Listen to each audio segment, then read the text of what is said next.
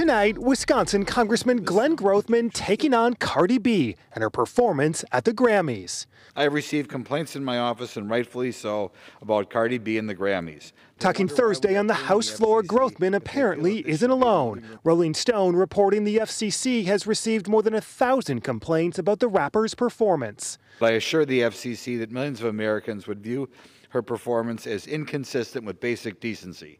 Wake up, FCC, and begin to do your job. The moral decline of America is partly due to your utter complacency. Cardi B herself quick to respond today on Twitter. This gets me so mad you don't even know, she wrote. I think we all been on the edge this week since we've seen police brutality back to back, including watching one of the biggest cases in history go down due to police brutality.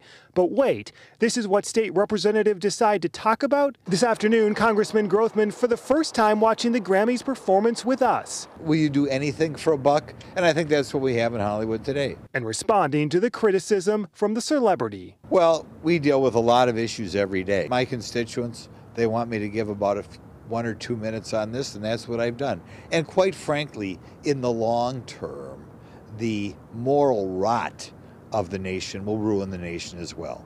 Cardi B on Twitter today also referenced Jacob Blake, the man shot by a Kenosha police officer, saying he won't receive proper justice in part because of lawmakers like Grothman. In Milwaukee, I'm Matt Smith, WISN 12 News. Congressman Grothman says he plans to write a letter and file an official complaint with the FCC.